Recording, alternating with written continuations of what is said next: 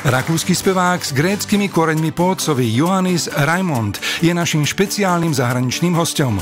Už ako 8-ročný chlapec objavil v sebe vášeň pre hudbu a spev.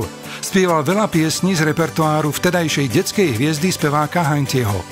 Johannes Raimond mal v 15 rokoch svoju prvú vlastnú skupinu a jeho srdce postupne naplnila túžba spievať melodické šlágre v Nemčine. Neskôr účinkoval v známych televíznych programoch v Nemecku a v Rakúsku a nahral 10 skvelých albumov. Najnovšie spolupracuje s rakúskym producentom Petrom Jordanom a tiež našim známym Petrom Klimentom. Nasledujúci spevák má s predchádzajúcimi žadoviakmi niečo spoločné. To, že prichádza zo zahraničia.